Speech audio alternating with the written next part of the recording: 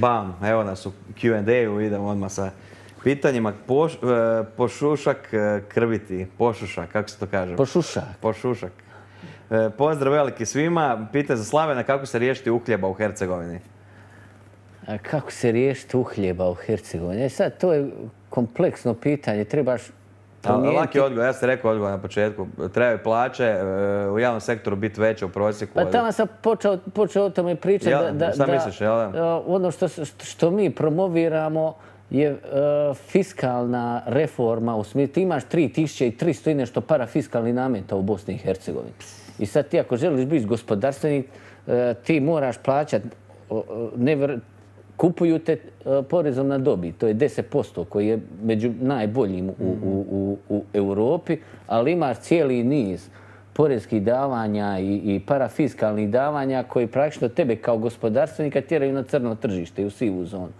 E sad, kad bi se taj parafiskalni, uh, parafiskalna hobotnica srezala i kad bi se porezna davanja usmjerila ka potenciranju gospodarstva, potencirao bi ljude i ohrabrivao bi ljude na, na, na, u realni sektor i ohrabrivao bi go, gospodarstvenike za dizanje plaća Ali treba platiti 75%. A Dobro, to, je- to je kompleksivno gledano, ali Da, ti sad imaš, dakle, ti imaš nevjerojatan, uh, uh, imaš zakon o dohotkima, za, zakon o doprinosima koje kontinuirano ove stranke koje vladaju ne žele uh, da se mijenjaju. Nedavno je baš bio prijedlog da se sta, uvrsti to na dnevni red u, u parlamentu federacije, vladajuća većina je to odbila.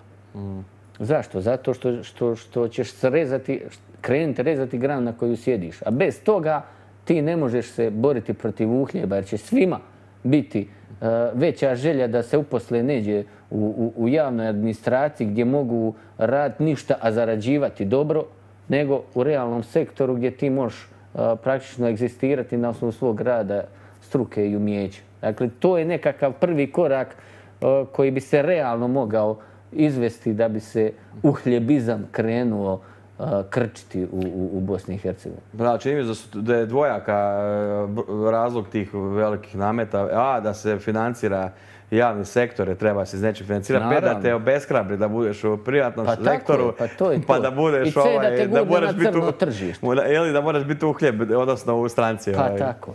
To je neka kombinacija. Tako i, to, i, i samim ti dobivaš biračko tijelo. Ne. Ne samo da dobivaš biračko, dobivaš disciplinirano biračko tijelo. Da, da, da, to je zanimljivo. Jer kaže, kod vas je, da, očigledno da je javna prva puno veća. Nego, mislim, mo- Pa naravno, javna administracija, javna poduzeća, uprave, agencije, ti imaš, spomenuo sam ti naš birokratski aparat na početku, koliko toga ima. pa da, da, E da. sad ti zamisli kol- koliko je tu ljudi uposleno i svi moraju, svi su A kolika je nezaposlenost u BiH?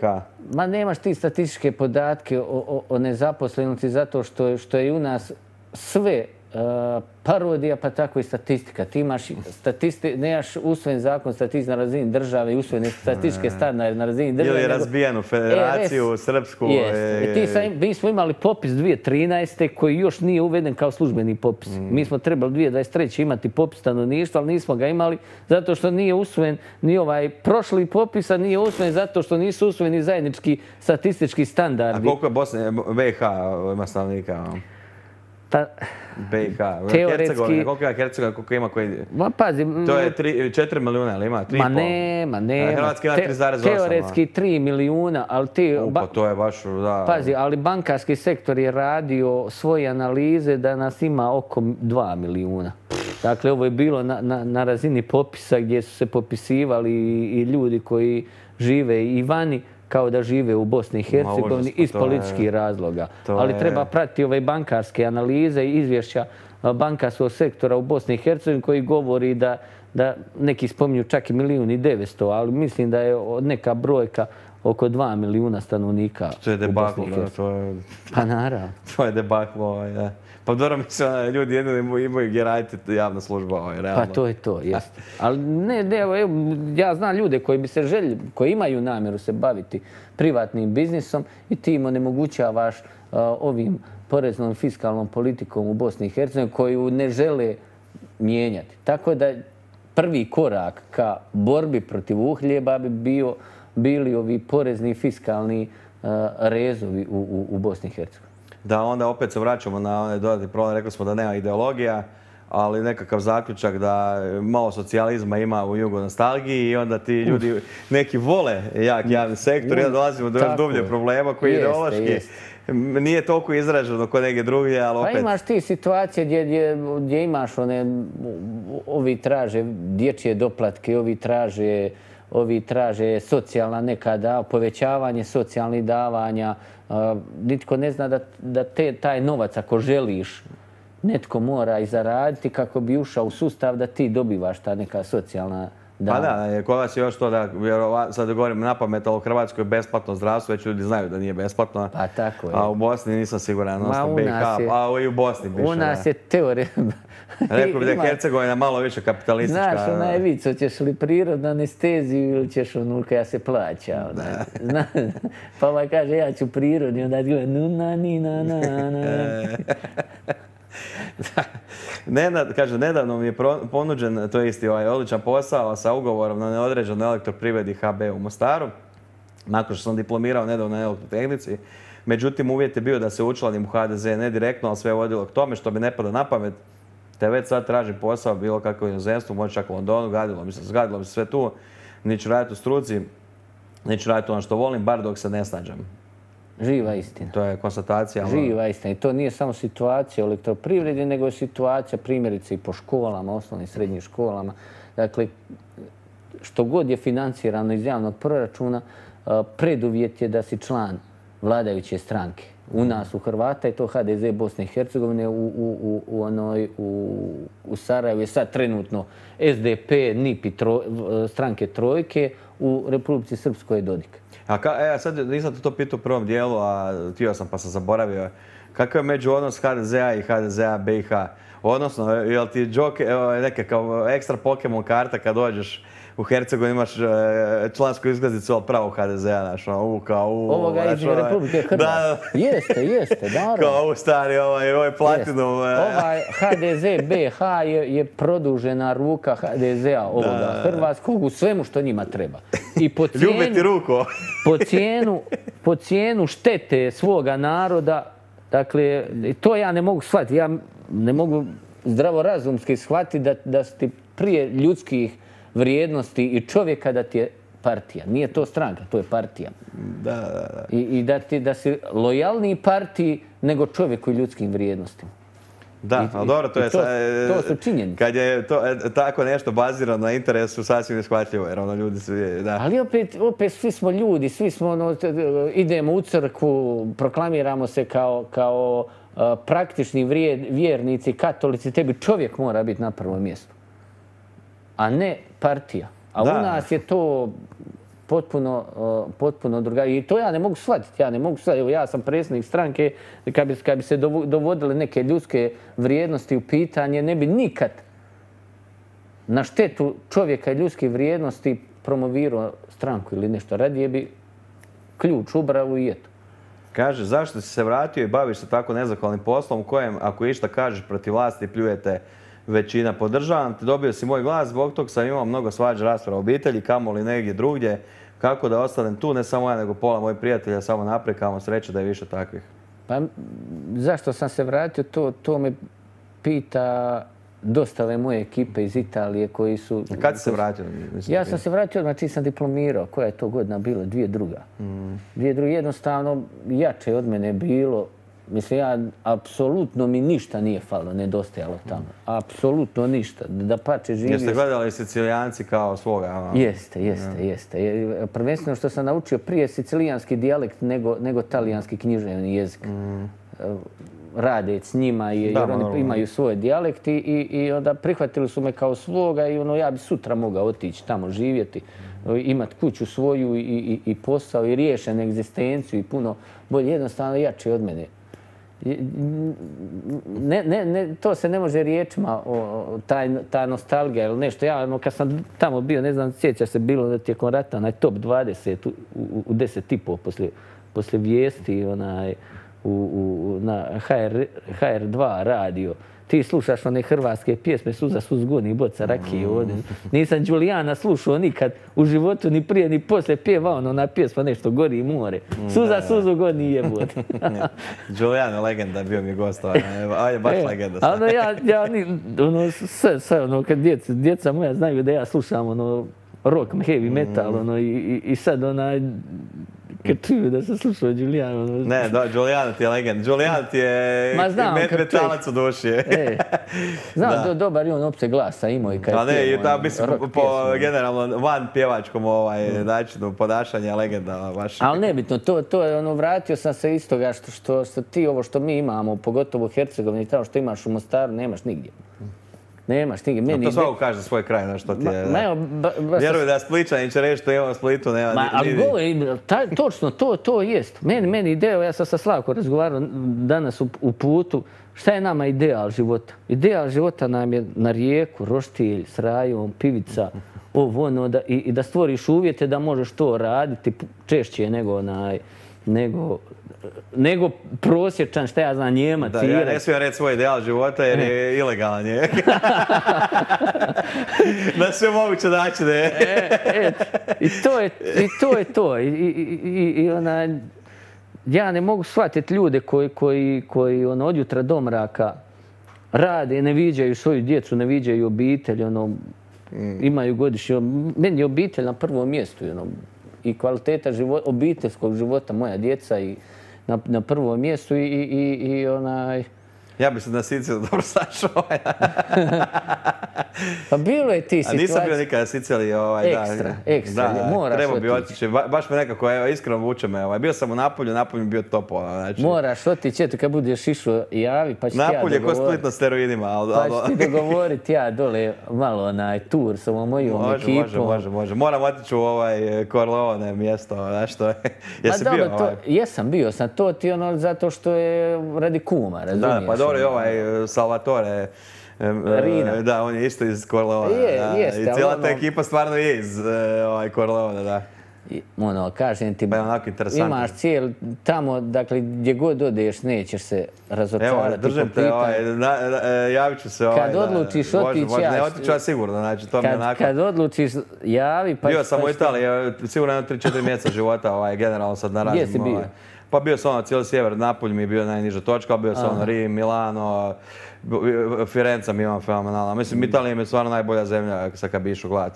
Me, kaže, meni je draga Turska zbog eh, hrane, ja volim ono gdje je dobra Pa eto, ali, ali u zavolit Italiji je hrana Zavolit još ćeš i zbog hrane, pogotovo Siciliju dole. Da, da, to, da. to je... Buraz mi je ovaj c- cimer u Londonu sa Sardini... eh, ne znam kako se kaže to. Sa Sardinija- Sardinije. Da, Kaljari. Ovaj, Sardo se kaže, E, Sardo. Da, da, da. Pa, mi on, pa mi on isto ovaj, me na, na, na filmu, znaš, da dođemo, moramo doći na Sardiniju. Pa bi onda nekako Sardiniju, Siciliju. Ekstra. Moram to ekstra. dvoje spojiti. Ovaj. Jer mi Italija mi je super, ono, nemam, nemam šta za reći. Ono. Baš onako zemlja se, ima dušu. Ono. Ma ekstra, bol. I kaže što južnije, to tužnije, ali u Italiji nije. Nije, U Italiji nije. nije. U Prava Italiji što, Italija. U Italiji što južnije, to luđe, ovaj, ja mislim. Prava Italija po meni, ja se to svađam sa, sa, sa ovim mojom ekipom što iz, iz Torina i Milana. Ja kažem, vi, vi ste K od Italije, prava Italija od Rima prema dole. Da, one nazivaju kanalizacija Italije. ja, Napolje, ja, ovaj, je, to, jeste, znaš, pljuje jeste. po njima, ono, hardcore, ali, ali kad, kad, Ovaj Sardinijanac, on ti e, navija protiv Italije, znaš. A dobro, tu imaš sad par to je sad već ovaj, e, da. A, imaš par ovih, kako bi rekao, povijesnih rasprava, da li je, da li je ovaj jug Italije, kraljevstvo dviju Sicilija i dole Napoli. Kažu, Napolje je Španjolska. znaš, to je- Napolj, onaj, da li su oni dobili ujedinjenjem Italije e, ili su, koliko su izgubili. Mm. E, I sad tu imaš puno tih nekakvih teorija koje ja volim, ono, slušati njihove intelektualce kako se svađaju o- ovi, sa, sa sjevera i, i juga, ko je, ko je ko dobio i, i ono ja kao, kao nekakav objektivni pod navodnicima promatrač, ona, ti tek vidiš koliko je taj jug Italije bio svojedobno bogat. Mm, Pa, ali evo, recimo primjer, gledao sam sad ima e, video zašto je jug Italije neki Englez napravio e, od sjevera i sad recimo primjer kaže, naravno ima to sad e, ovih e, netrpeljivosti povijesnih, a ovo recimo uzeo primjer, sad ne znam koja je, ovoj Kalabriji, e, grad Luka koji je najjači ulaznik Luka za razno razne stvari, o, među ostalo narkotike u Pa Europi. jeste, jeste. U Europi i sad kaže, e, talijanska vlada im je udarila već osam sankcija, zabranili su im da svojim prora... Rekli su morate onaj spriječiti Bar dajte nam 10% ulova, znači ovi su jednostavno rekli nećemo, mi puštamo sve nek ulazi i ovi su im osam puta e, proračun srezali. Sad recimo za 3-4 grada Luke nisu uopće imali upisan proračun te godine, jer su im ovi zabranili e, gra- gradskoj skupštini da upravljaju svoj proračun. Zbog toga što ne znaš da oni nisu imali love, ali se njihov proračun gleda kao nula recimo. I sad kad on, gledaš, i sad on objašnjavao da masa gradova na otocima i u Južnoj Italiji zapravo nije toliko siromašna uopće koliko ispada kad bi se... Jest, jest. Jel, da, da, sad i zbog ilegalne trgovine i zbog e, nultog proračuna s obzirom na te nekakve vladine intervencije. Ali isto tako imaš pu- ogromnu sivu i crnu ekonomiju E, dole. to, to, to. Zato kažem, nije, nije baš tako, e, Nije, on je to. rekao, znači nije baš tako jug siromašniji, sjevera kako se čini na prvu, ovaj, je to objasnio. dosta oni i, i koriste i zloupotrebljavaju tu činjenicu zbog guranja crne i sive ekonomije. Jer u nas je to još ono, oni, to sasvim otvoreno rade. I potenciraju i, i, i, i pohvalno je u njih ako zezneš državu. Da, pa da, da, i oni su kontra, ovaj, kontra glas na Kings and Generals, isto ako gledatelji, ovaj, da mogu pogledati po, podrijetlo talijanske mafije, isto vrlo interesantno. Jeste, pa e, sve se izrodilo Nakon isto. feudalizma, raspada feudalizma, kako se u biti taj reket, e, reket je bio nužan. Zato što, naravno, sad naravno više nije, ali tad je bio nužan jer su te, ako te ovi ne, ne pružaju zaštitu, reketarite vlast sa prevelikim porezima s kojima su ih plaćali. I onda bi se ta mafija, njima platiš manji više postotak manje i ti onda vladini poreznici Više ne manje dolaze. ti da. je lila ti je i sad ona. Da, da, da. I onda ti ne dolaze poreznici i onda ti u biti s tim reketom smanjiš si davanje. Jest. ovaj, Jer, je mafija također povezana i sa poreznicima. Mm, da. Mislim, slično kao u nas u Bosni i Hercegovini, samo u nas nema mafije. U nas je to drugačije, puno drugačije zove. Da, kod nas je kako ima mafiju državu, e, e, ne, kako država ima mafiju, ovdje mafija ima državu. znaš Tako kako. je. Po- e, kaže opet još jedno pitanje, da li je Željko Komšić prošlost? Željko Komši je li prošlost? Mislim, je li ovo njemu drugi uzastopni mandat? Onda bit će prošlost na sljedeći četiri godine. Sad šta će, hoće, li- nag- jer ono ne možeš tre, tri mandata u nizu. Aha. Dakle, sljedeći, na sljedećim općim izborima on se neće moći kandidirati, morat će naći nekog drugog Željka Komša da nam nametne. Ali imaju takoga u, u Pa talu. mislim, kapaciteta Željka Komšića nemaju po meni. Ali oni će sve učiniti, pod oni misle na političko Sarajevo, će sve učiniti da ga nađu. Ali će im pomoći obično u tome. E sad, to, to Ako pitanje, ne ako ne bude, kandidat. ako ne bude Ako Želj- sam ne bude kandidat. Ako Željka Komšića ne bude, ja mislim da bi se on mogao kandidirati za, za kandidata za člana predsjedništva i, i da bi mogao vrlo lako osvojiti. Da, ne, to sigurno, da, ali ovaj, koliko taj ima godina, ne znam, jel ima... evo. E sad ja ne znam koliko on godina ima. Meni se je čini, onak, imam osjećaj da su već. neki vječno tu, znaš. Pa to ti je- Ono, Dodik će do ti je- 95. Ovaj, kao Berlusconi. To je. ti je onaj filozofija Jože Manolića. Oni da. svi misle da će, da će ko Joža Manolić onaj, živje dugo. Da, da, to se obično desi kao i u Zagrebu, neki drugi, neko umre jednostavno i onda bude ovaj veliki ovaj pro- prazan prostor na sceni i šta ko ulovi prvi. Pa jest. E, to će se u Republici Srpskoj biti najveći, ko, bit će zanimljivo pratiti tako Dodik iz nekog razloga se ne kandidira, ja ne znam šta. Pa ostaće on, ostaće on iz, iz, iz puno interesno poslovnih razloga. Evo, spomenuo sam ti onu... Dobro, geopolitički možda, znaš. E sad, e, geopolitički, oni da ga mogu skinuti, oni bi ga mogli skinuti sutra. Ne, ne, ne, ne Ameri, nego Rusi da ga skinu. A šta ako Putin e, ne bude više predsjednik, dođe neki drugi E, to je sad drugi, pedalira drugi ga. par, ovaj, drugi pa. par opana. Da, jer se ovaj vezu s Putina pupčanom vrpcom, znaš. Jest. Nikad ne zna šta se može dogoditi ovaj, da. E, Ben Prženje, pozdrav svima u studiju. Koja je perspektiva BiH kao države i u kojem će obliku postojati 2046. E sad, perspektiva Bosne i Hercegovine, ako stvari ostanu kakve su sada, nema perspektive. Pitanje, to je samo pitanje vremena kad će ona implodirati. I pitanje vremena kad će postati, kad će, kad će ona pojesti samu sebe. Jer e, ti nemaš stvaranja novih vrijednosti, ti nemaš stvaranja novih gospodarskih nekakvih subjekata koji bi mo- mo- mogli i održavati Bosnu i Hercegovinu na životu. Ako ostane ovakva situacija kakva jeste. Tako da 2000, koje, 46. ne znam šta će biti, ali, ali e, ako Bosna i Hercegovina ostane ovakva, ovakva kakva jeste, možda 5-6 godina će, će doći financijska egzistencija Bosne i Hercegovine i održivost Bosne i Hercegovine u, u ogromno pitanje. A što vas može spasiti do ovak cijelo vrijeme da razmišljam o tom, osim ovih što su se zajebavali, ono kao strani predstavnici, suci, vamo tamo, vas može spasiti nekakav, e, sad kolokvijalno gazo, bosanac, hercegovac, nebitno, izvana koji je vani milijarder i odluči se vratiti u BiH i stvarno zbog novaca odluči poraditi u korist svih, a ljudi počnu glasati za njega iako nije vezan za ove. mislim, to je možda utopistički, ali Ma jest, jel postoji takav e, e, Ma, pazi, čovjek ovaj, vani? Pa ja bih rekao da sigurno ima milijardera svijeta pazi, stvar je tu, mi moramo promijeniti izborni sustav u smislu tehničkih izmjena izbornog zakona. Ne govorim sad o izmjena izbornog zakona po iz, iz aspekta hrvatskog naroda, nego tehničkih izmjena izbornog zakona da se onemoguće malverzacije na izborima. Ne, okej, ali sad ja sam... E, kad bi, kad bi mi uredili taj sustav, dolara i našao bi se čovjek, našao bi se čovjek koji bi sigurno pokrenuo neke stvari u tom pitanju, ne samo u, u, u općenito u Bosni. Našao bi se čovjek i kod Hrvata i Bošnjaka i okolo, jer, pazi, prosječna osoba u Bosni i Hercegovini želi živjeti u Bosni i Hercegovini neopterećeno o svim ovim uvjetno rečeno, ideološko-nacionalnim problemima. Mm.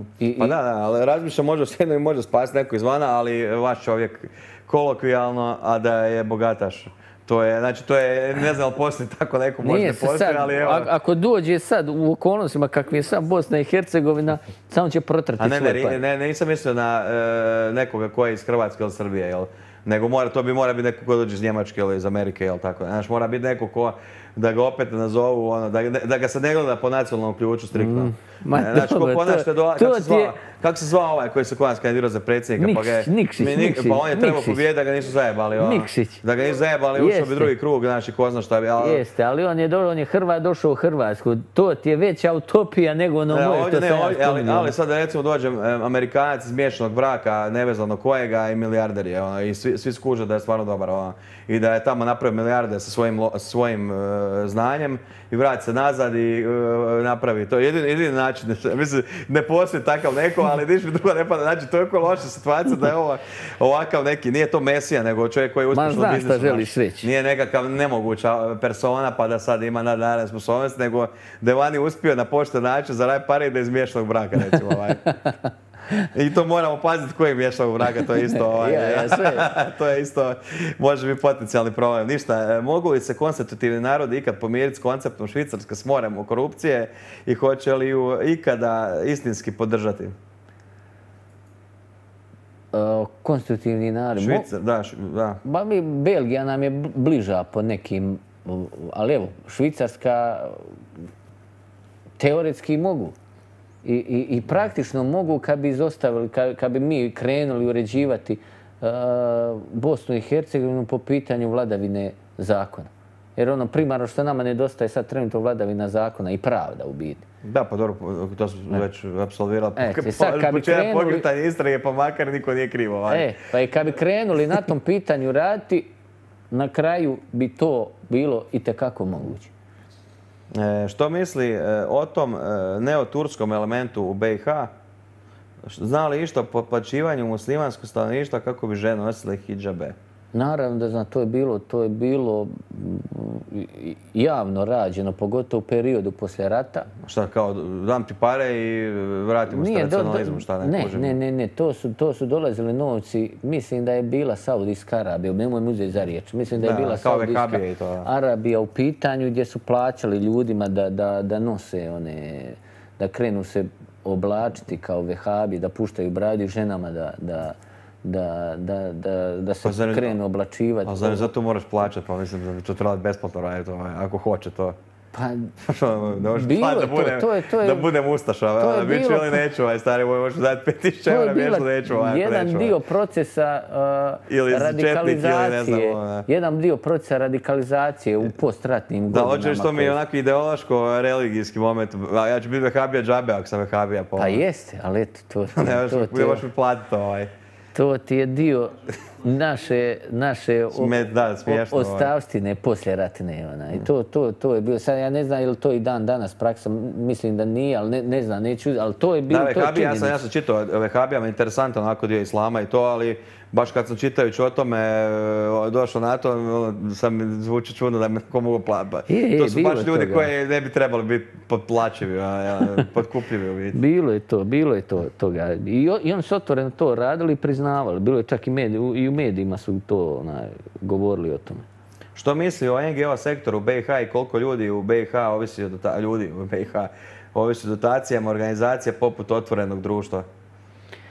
Dakle, NGO sektor u Bosni i Hercegovini ti je sve, samo nije NGO. Dakle, oni su u rukama ovoga političkog, unitarističkog, uvjetno rečeno građanskog uh, mainstreama i promoviraju taj unitarističko-građanski uh, koncept. Makar je to bilo uh, do sada i ne vidim da iko ide u- u kontrasmjeru tome. Dakle, oni su produžena ruka tih politika koje financiraju unitaristički koncept Bosne i Hercegovine, pseudograđanski koncept Bosne i Hercegovine i e, ogroman broj ljudi egzistira na tome i promovira to. I ti imaš činjenice Dakle, danas, danas je ti predsjednik ti neki NGO organizacija, sutra osvaneš na listi neke političke, bošnjačke političke stranke. To, dobro, to je običajno, To, je i u nas normala. To je svugdje, ali to je i Hrvatskoj isto, U, u Bosni. Ali dobro, u nas je to... Mo- Možemo, e, što je možemo, nego... E, tako je, to je to. e, Lista ta- E, NGO... ovaj, e, to je to. Samo što je u nas NGO promovira taj građanski koncept, a građanski koncept jeste jednako unitarističko-bošnjački koncept. Ne, to je jasno, zato što ih ima najviše, to je mislim svima Pa jasno, jest, ali tako. onda mi je čudno zašto Soros ne propagira taj koncept uh, ukidanjem kantona u Švicarskoj ili ukidanjem belgijskog ovaj... Pa naravno, pa jest. ono, da. Pa ne, nađu naj, najranjivija a, društva gdje mogu promovirati tu svoju a, agendu. Da, meni je to ono, da, ne, ne razumijem, da, ali dobro. E, e, Razumijem 95. da se to brijalo na to, to mi je sasvim savršeno jasno, ali 2023. E, Znaš šta mi se, a meni se čini da oni to rade, da 95. nisu provjerili što se događa. to je toliko Ne, brinu, nije, ovaj, nije, se svidjelo ono što ovaj. se dogodilo 95. Da, to, je to. toliko brinu o BiH da nisu ovaj, da su zatvorili vrata i ko zadnji izađe ovaj, da. Koliko je nepostojanje gradonačelnika unazadilo grad Mostar? Ne po, e, gradonačelnika je bilo. Ne po- nije bilo gradskog vijeća e, 12 godina. Gradonačelnik je bio na funkciji, pokojni Ljubo Bešlić, ali nije bilo gradskog vijeća koji je trebao donositi određene, dakle sve, sve odluke iz, iz domene gradskog vijeća što, se, što, što je sad. A koji je omjer Hrvata i Bošnjaka u E sad, postotku, ali ima to uopće? Pa, malo ima više Hrvata u Mostaru, možda 55, 45, tako je. A Srba 2, po- 5%. Ma, Srbi su u, u mali broj, ima možda 2-3%. Mislim, s- tak, takav je nekakav, malo više Hrvata ima. Znači 50, 47, 3 recimo. Tako nekako, eto tako. Mm, Da, dobro. Ako Slaven postane vođa Hrvata u BiH, hoće li sebi u Mostaru izgraditi hacijendu u maniri Pabla Escobara? Pa neću Mostaru, gdje bi je izgradio, šta mi zezam se. Onaj, ne, ne, definitivno nije meni... hacijenda e, ne dolazi u obzir bez e, slonova, tigrova, znaš što... je- Ma, tu se e, referira- Nos, ovi, Jesi upratio Nisam, na, nisam, na nisam. kuću Dragana Čovića, tu se referira na njegovu kuću. U- Ali ni on nema ovaj nosoroga i to, da. Nema, nema, ali nemoj, nemoj naglas govor, nemoj da te čuje jer će, na, jer će nabaviti. Da, da, da, jer onaj, e, tu se referira na, na proguglaj, poslije sve će ti jasno biti o, o, o, o čemu je pitanje. Ni- nis- Šta kažeš? Vijeća Mostar, kako to kaže. Koje? Mostarsko vijeće. Okrenuo. Kaže, kako izgleda grb od Slavenove obitelji i je li mu netko počeo modelirati bistvo? To je isto vjerovatno nekakav taj. Jeste, zato što su pod e, Čoviću e, poklonili grb obitelji. Da, gdje- to, e, ne, to sam vidio, kod Kesića mi zastavio. I ja, ja, navodno, navodno mu je neko to platio, a imaš ovaj dekan, Je li A je ono, dekan to je ono srednji vijek, Lik, Điri, je. dekan likovne akademije mu je napravio bistu za života. Ono, Da, ono, pa, to ti je, kaže, to ti je ono, e, visoka moda 1618. Ono, znači, 17. stoljeća, ovaj, negdje, tamo, malo, možda kasnije, ovaj, znaš, kao ideš se izraditi obiteljski grb, je, A znaš. jeste, ono, pazi, ono, to je bilo sve u toj percepciji prosječnog HDZ-ovca, to je sve bilo fino, krasno, dok nisu vidjeli reakcije u medijima i komentare i, i, i, i posprdne komentare, pa se onda to krenulo, vaj, nisam ja to ništa poklonili A ovo, da, ovo za bistu, pa to, za bistu je kao ono Tito Užice, kao, i ovo je bio sam protiv, znaš, da mi da, po meni nazovu, ali su rekli, ono, već su izglasali, kao moraš, kao, hvala, kao, jebi ga.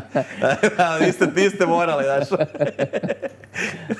to tako ide, znaš. Ja, pa je, to je, tu je to neđe. Da, da, da. Za bistu bi čak rekao da nisam siguran da je baš njegova ideja bila, ali za grb, tu već sumnjam i na bistu, da. Kaže, Pačo, pita za gosta, može li preporučiti najbolje čevape i najbolju gibanicu u BiH? Hvala.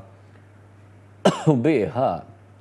E pazi, najbolji ćevapi su bili u, u parovi u Sarajevu, ali ja kako sam po navodnicima kuva, ku, ku, ku, kuvanija mi je, kako se u nas kaže za kula, kulinarstvo, mi je kao hobi i strast. Sad ne bi preporučio ćevape nigdje.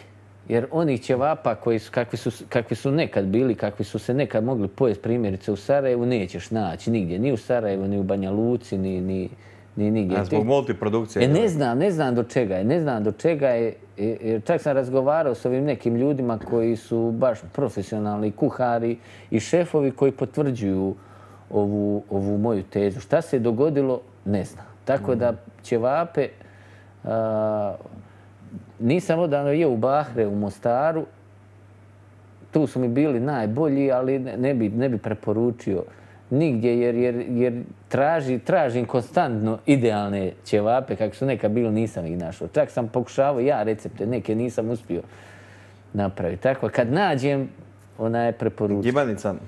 Ja gibanicu ne jedem, tako da ne, ne mogu preporučiti. Ja, jel, jel ti, imaš ono kad dođeš u Sarajevo na baš čarši, jel ti šta onako kao vidi ovoga, znaš, ono kao dobacuju nešto, ne? Nisu, nisu, naprotiv. A to ne, dobro, te prema tebi ne bi da, pre- to bi prema HDZ-ovcima vjerovatno. Ne, ne, ne, ne, prema meni bi više nego prema? HDZ-ovcima. Ja, ja, ja, ja. Ni, ni, nemam ja takvih problema jer ona, ja nemam, kako bih rekao, kad, mi neko ta- na taj način dobaci, ja ra- porazgovaram s čovjekom i, i, i, i onaj, imao sam takvih slučajeva, primjer, ja bez ikakvih problema šetam na lijevoj strani grada Mostara, imao sam takvih slučajeva, ja sjednem, porazgovaram s čovjekom i onda imao sam takve gdje su ljudi bili uvjereni da sam ja nekakav, nekakva hrvatska verzija Mussolinija, fašista, ovo ono, i nakon 5 minuta što ljudi razgovaraju sa mnom vide da, da, da to nema veze s vezom.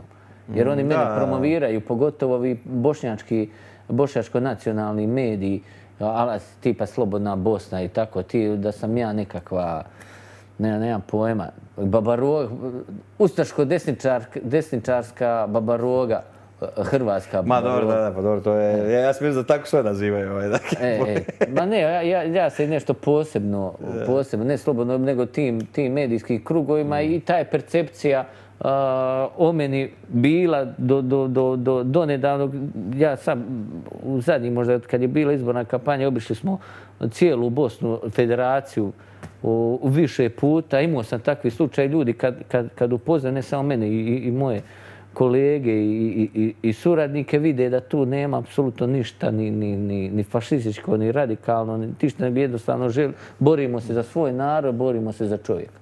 Da, da, danas se s tim zajebano, s tim t- titulama, kao, jel, ovim etiketama, znaš, fulaju stalno, ono, znaš, te- te ka- ako nemaju predznanje, daju krive etikete, mislim, to je ono najčešće fašista, da, za A ovo. bilo je, bilo je ono naslova. meni je smiješno, jer ono, za fašist, nekog nazva fašistom, prva stvar, bar ja to ovaj, nekim kolegama kažem, ako nekog želiš fašistom, moraš znati šta su fašisti. Ne možeš Pa imati ne- nikakvo ne- znanje o fašizmu Tako i on kao ne želim ništa čitati o tom, to je, znaš, ono, brate mili, to ko da ja nazovem sotonistom, a nisam čitao Nemam sotonizmu. pojma šta o Znaš, tome. ono, ne bi uopće mi to palo na pamet, to, znaš, zoveš nekoga i ispadneš glupo, ono, da, dobro je, da. Sve mi je jasno. Vilim Sučić kaže, pitanje za gosta, hoće li Hrvati u BiH u dogledno vrijeme dobiti svoju teritorijalnu jedinicu, bilo u obliku entiteta ili u obliku nekakvog super kantona u okviru BiH. To nisam ni pitao u ovom prvom dijelu, to sam pitao Raspudića, i ne znam. To sam toliko put pitao goste koji su pa ili e, iz Hercegovine ili podrijetlom iz Hercegovine, ili sad žive u Zagrebu i onda mi već isuflalo mi se to pitanje, ali evo.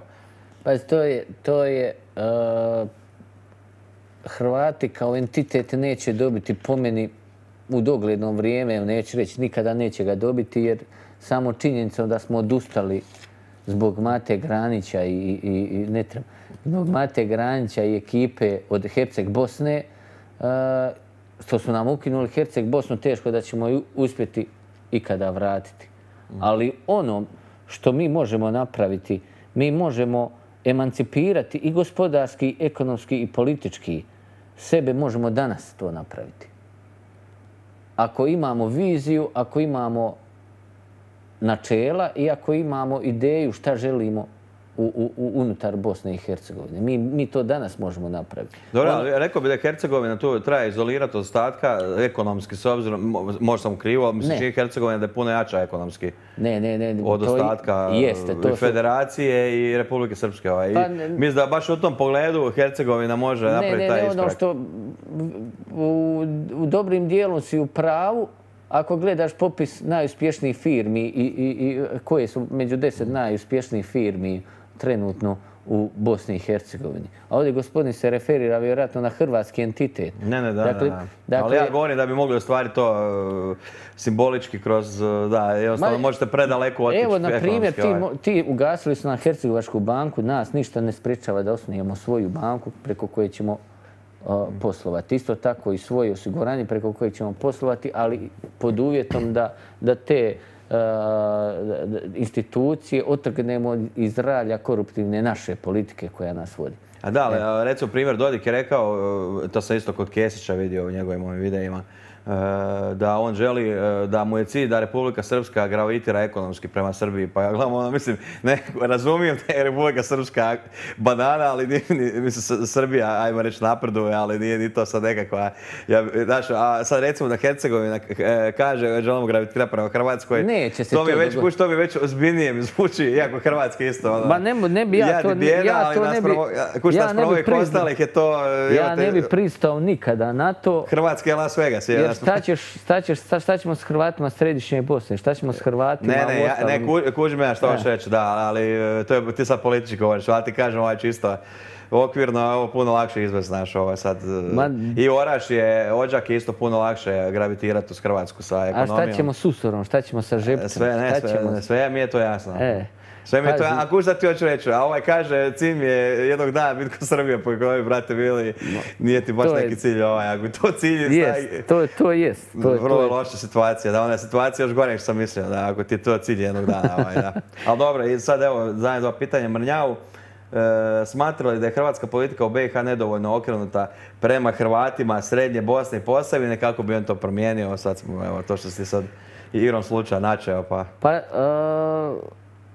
dominantno je u pravu čovjek okrenuo bi to, evo, primjerice na način da se krenu istraživati zločin nad Hrvatima u Središnjoj Bosni, jer su Hrvati Središnje Bosne daleko, ti uzmi Vitez je dao po omjeru broja stanovnika koji imaju prije rata najviše žrtava e, u, domovinskom ratu kao jedno hrvatsko. Mislim da se radi 654, tako nek- neka, neka je e, brojka bila. Niko o tome ne govori.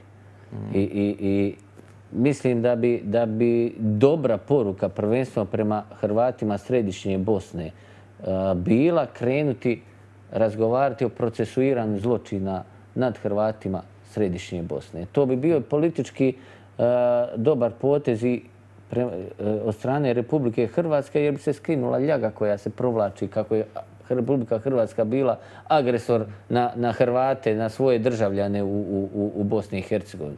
Ma, tu je, ovaj, pa to je, ja, ja, imao sam tu raspravu, e, sad se ne znam s kim, ovaj, neki, bio gost Srbije i rasprava je možda teška, ono kao, agresija Hrvatske i to naši isto novinari, isto sa, sa e, e, novinarima.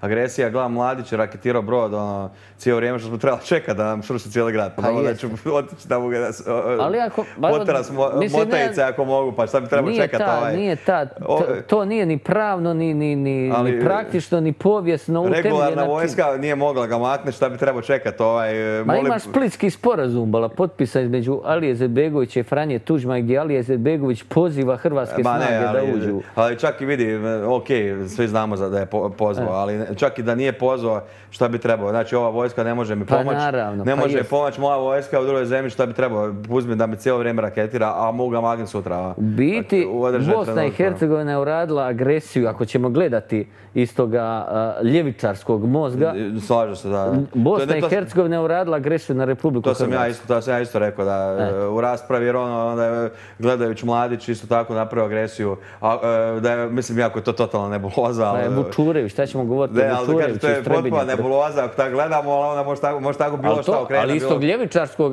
spektra i njihovog načina razmišljanja, mislim, po, E, ali nema ti, nemaju ti argumente, znaš, nema ti argumente. Ovo. To ti je, e, e, znaš, oni, e, kod ovih kolega novinara koji to pričaju, oni ti, to ti već e, nekakva, e, čuli su drugih i onda ponavljaju, znaš, Pa nemaju, jest. e, stvarno, ono, čim kad malo zagrebeš u površine, nemaju nikakvu argumentaciju, onda skužiš da u biti on to ponavlja ko papiga. Jest, jer mu jest. je neko rekao, znaš, nije to njegovo mišljenje zapravo. Znači, onda ja njemu se ništa ne zamjerim kad ono laprda gluposti. ono. Gledaš ono to ko da te klinac gađa s tuđe dvorišta ka- kamenjem pa ciglama i šta bi trebalo. Roditelji mu ne radi i ništa, vrati me, preskoči ogradu i da tamburat ga ako mogu. je. Ne čekat ovaj dobije kao ovaj. Yes. Znaš, e, Song Song, mišljenje, i to je zadnje pitanje o Europskoj uniji i NATO-u. E sad, s aspekta Bosne i Hercegovine, e, mi bez Evropske unije smo ništa. E sad, što se tiče Evropske unije kao koncepta, tu sad imamo on- onu diskusiju između suverenizma i Evropske unije kao političkog projekta. Ja sam vas za protiv Evropske unije kao političkog projekta i za vraćanje na onu energetsku ekonomsku zajednicu i Evropsku zajednicu kakva je bila kao ekonomski projekt. Dakle, ja sam kategorički protiv toga da Evropski parlament i evropske institucije figuriraju kao nekakva krovna e, naddržavna institucija koja će diktirati vrijednosti država koje su članice Evropske unije. To ja ne bi dopustio e, nikada i, svaki diktat s te strane, ja sam protiv toga. Ali sam za gospodarsku zajednicu i ekonomsku zajednicu i, i, te određene stvari koje e, utječu na, direktan, na direktnu dobru kvalitetu života svakog onoga koji je član Evropske, e, Evropske unije. Što se tiče NATO, ne možeš ti imati u ovoj situaciji kakva je danas, pogotovo s, rast, s rastom ovoga sa situacijom kakva je s Putinom i Rusijom, te, tebi NATO garantira određenu sigurnost i, određenu, kako bi rekao, temelji za rast gospodarstva i za, za sigurnost. Sad, pitanje je, kad bi se nešto dogodilo, bili NATO ispoštovao Primjer se, kad bi sad napalo Hrvatsku, bili NATO ispoštovao ono što, što je potpisano. ja bih čak rekao to drugačije, da NATO napadne, da neko napadne Hrvatsku možda bi, ali da neko napadne Bosnu, ne znam. Teško. ovaj, jer Hercegovinu ne bi, ali da Bosnu, Republika Da, Srpska. bilo bi, ne znam- Ne znam nemojte. kako bi, šta bi što izdogađalo, ali bilo bi jako škakljivo, da. Jer ono, za pretpostaviti da ako bi bio rat NATO-a i Rusije, da bi Republika Srpska bila na ruskoj strani, sad možda sam u krivu, Bila, ali bila, bi, reći, bila bi na ruskoj strani, ali pitanje... koketirali bi ovaj. Da, Dodik, bi- sam navikao da Dodik mijenjak mišljenje, pa bi možda... Ali pitanje bi bilo na čijoj bi strani bilo političko Sarajevo. Jer, jer o, ono što ja govorim, Mm. A bilo bi na strani Turske, a Turska bi bila... a, a Turska na čijoj bi strani a, bila. Ma, na strani NATO-a bi E, ne jer- znam jer u ja NATO, ja mislim da bi, ja mislim da bi, ja mislim da bi bilo negodovanje žestoko i glumio bi ono, isto ono, ajka, baš moram, evo, znaš, a zapravo bi odmah rekao da E, ne, nisam siguran u, u, u to koliko bi bilo, jer, jer, Jer Rusi i Turci imaju povijest i to prilično burnu i to koju Rusi nisu često izvlačili ovaj bolji kraj, znaš.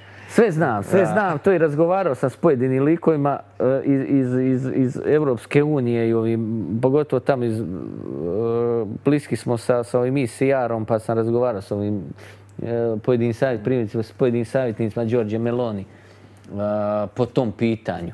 A, po pitanju bliskosti ne Turske i Rusije koliko Erdogana i Putina. Mm, Ne, to, to, to, Jer ne, to je odreć- drugo. E to je, dakle, mislim, ne treba biti nešto pretjerano inteligentan za predvidjeti političke poteze u nas u Bosni i Hercegovini. Mislim, e, ja kad bi predviđao kladionicu, ko što se mogu predvidjeti ili neke politički, e, političke okolnosti u Bosni, ne bi, sigurno sjedili ovdje, neđe bi bili na moru, onaj, na nekoj jahti ili nešto. Onaj. Je Toliko to, toliko to predvidivo.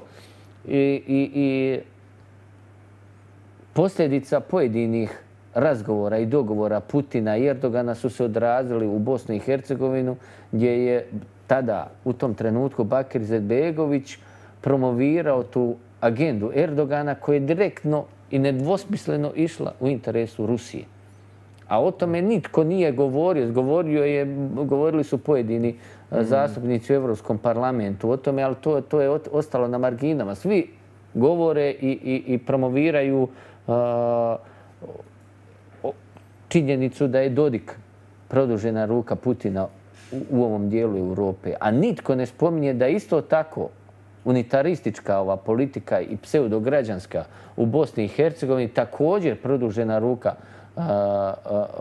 Putinove politike preko Erdogana. Da, ali ja mislim da sad ja bi tu nekako to malo, vidio sam e, za početak e, Dodika kod Putina i Putin mi se izgleda da Dodika cijeni, još neću reći cijeni, nego gleda na njega još gore nego na ovoga Lukašenka, Jest. da ajmo reći, gleda i kao nekakve budale. jest, ovaj. jest, to je Znači, meni- onako dosta Nisi podci- jedini koji je to Podcjenjivački gleda na njega, a ovaj to zna. I, i, i bilo je i Dodiku malo neugodno zbog toga, jer Dodik koliko god da glumi Krkana nije baš tako glup. ono, uopće nije glup čovjek, a Bio je glumi prvi- Krkana, ali mu je bilo, bilo mu se malo da je neugodno mu zbog toga jer Bio je je svjestan. onaj prvi susret koji, koji on spominjao da je išao kod Putina, nije bilo nikakvih fotki, bilo, nije bilo nikakvih Ne. izvješća. Ona, Da, ne, a, s druge strane, Er-. Erdogan je dovoljno ovaj, lukava lisica da zna Turke kako dišu i zna da Turci nisu baš svi za Ruse kako koji. Jeste, to I jest. onda bi on tu kalkulirao, a s druge strane ima on interesa tu i od NATO-a i od Amera i od svašta nešto, iako su ga i zajebali. U biti vidio je da kad se ovaj, pravi pametan da mu se dogodi ogromna inflacija. Ovaj. Znači da, da, sve je jasno. Da, ne bi bio, ja nisam siguran baš da bi Erdogan ustrajao na Putinovoj strani, pogotovo kad bi vidio da možda neće pobijediti ovo. E, to, e, to, tamo oteo to vidio oteo si mi misao. vrlo brzo bi on to vidio. Oteo si mi misao jer, jer je, pazi, to, to je, vraćam se ponovo na, na, na Bosnu i Hercegovinu u, u, u, u vremenu predrat i, i na početku rata. Ti znaš da je Alija Zebegović rekao ovo nije naš rat. U trenutku kad je gorilo je to. ravno. Sjećam se ja u brodu, ko, mi smo kod dje, ja se sjećam kod djeta da je to bilo da... E, kad je gorilo sravljeno ravno, kad su već ginuli ljudi u Bosni i Hercegovini, oni su i tada, ti, ti imaš cijeli Je niz. bila, ja se sjećam vrlo ružna, ono, se, znaš, iz, uh, kod djeta sjećaš neke stvari jako dobre i sjećam se da su se ljudi čak, uh, što meni, ono, pogotovo iz ove perspektive katastrofa, da su se čak rugali kad je počeo rat. Jeste, evo, evo jeste. vam sada, znaš, Jeste, ono, evo, jeste. evo I sad, bilo, pa bilo, sad, bilo je ono. cijeli niz sporazuma koji, koji su tadašnji da. politički čelnici uh, bošnjačkog, tad su još bili muslimani, njihovog naroda koji su potpisivali sa, sa Momčilom Krajišnikom i Radovanom Karadžićem. I da su Srbi ispoštovali te sporazume dan danas, mislim dana, ne, ne znam za dan danas, ali tada bi oni sigurno bili uh, pri Jugoslovenskoj narodnoj armiji, da, da, da Srbi nisu prevarili njih uh, tada. Da. Jer cijeli niz njihovi, oni su kalkulirali do zadnjeg trena gledajući uh, hoće li uopće doći do rata i, i, i Sve, posljedico, iza, i posljedično iza toga ko će u tome, ko bi eventualno u tome mogao Sve je jasno, to imaju i snimljene i vide i nešto se može provjeriti na internetu. Ništa, hvala ti ovaj. Ništa, hvala Vidjet ćemo se, znam kad su izbori neki, pa evo da to dogovorimo šta da daš. Do godine su lokalni izbori, za tri godine su opći. Aj, oj, do, onda dota ćemo se vidjeti. Ako Bog da. Da, ništa živio i Hvala još jednom na poziv, pozdrav svima. Ž, ž.